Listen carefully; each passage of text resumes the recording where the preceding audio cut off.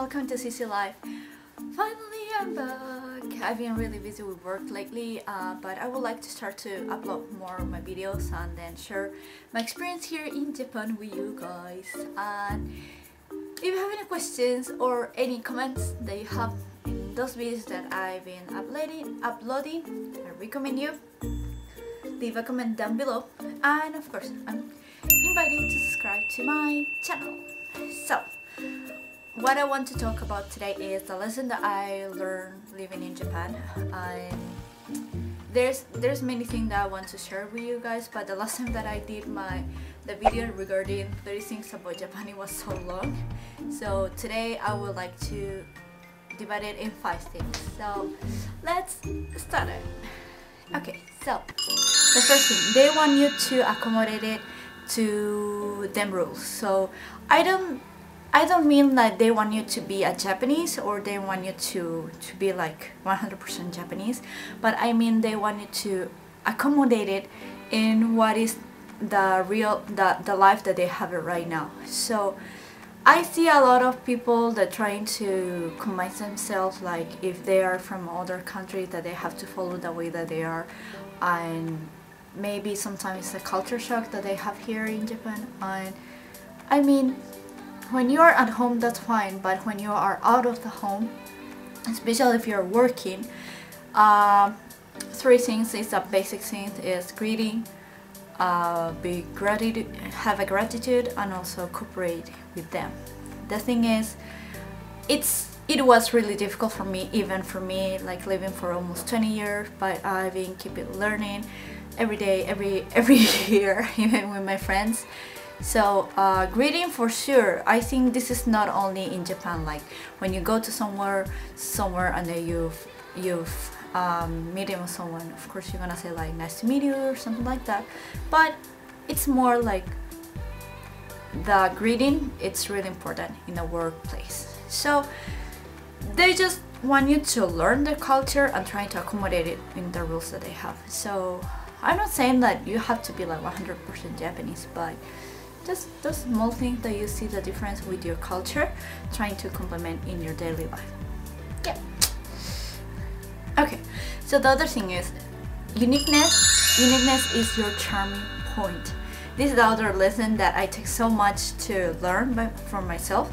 And I think everybody's have is a charm point especially if you are if especially if you're a foreigner and then you come from a different type of culture.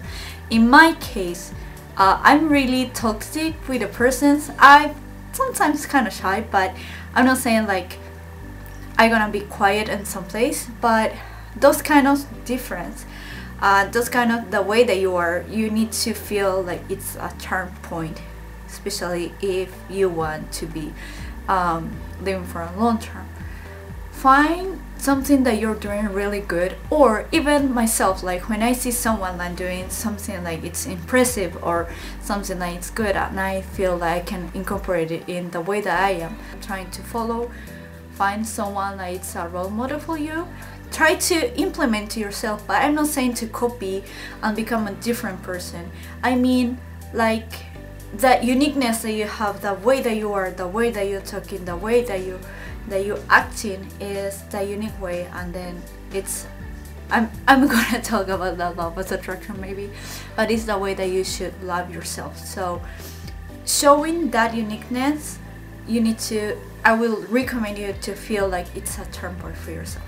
So the other thing that the next lesson that I learned it's about the Japanese. Uh, I don't know if you guys hear about the keigo. It's the term of respect. It's like honorific but I see a lot of person who trying to learn Japanese, like trying to to learn all the 3000 kanjis or then trying to learn all the way to say in the daily life. Of course, daily daily life conversation is important, but also if you're trying to live in here and then if you're trying to get a job here, I recommend you first master like just having a good a good way to talk with a person with that respect that thing is gonna change on the first impression that you do to that Japanese person so I focus more I I know myself that I don't speak like I'm not speaking like 100% like Japanese, but at least like I have a Keigo masters. yeah, I'm pretty sure I took it better than the Japanese person in in a work something like that. But Keigo, the same. So then um, time about time. I feel time is so precious, and this is why I've been learned living here for a long term. Uh, the thing is like when you start when I, even when I was in the university I was working five days a, a day five days a week and then I, I have my university for two days a week so pretty much like my whole week was working or study and then when you start to work it's you're gonna start what? Uh, 9 in the morning 8 in the morning finish sometimes maybe to the last train.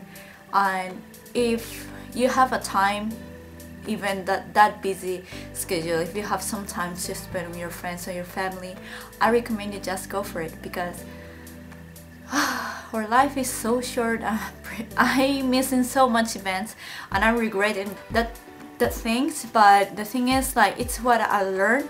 Here in japan is like the time is so precious. If you have um, possibility that you can request it for a vacation or maybe like a day off um, just try to get it. And then spend a time with your family spend a time with your friends spend a time the thing that you really like to do because that time will not back anymore.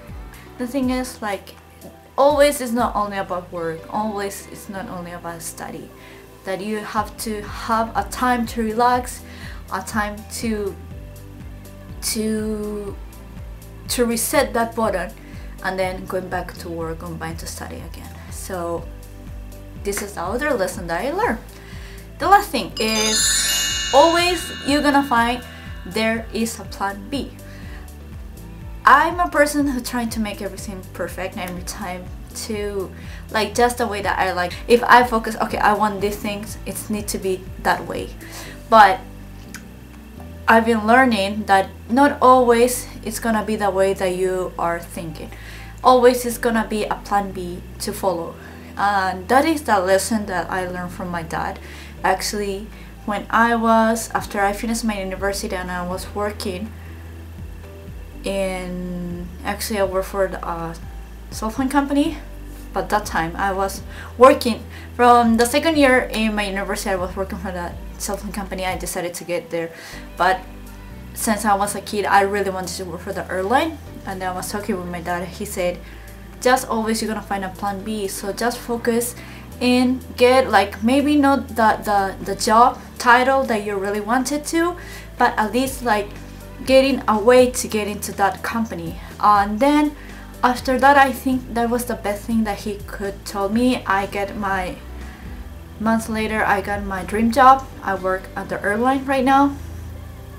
And yeah. So little by little, one step by one step, you're gonna find a way to get it to your final goal. But always remember this.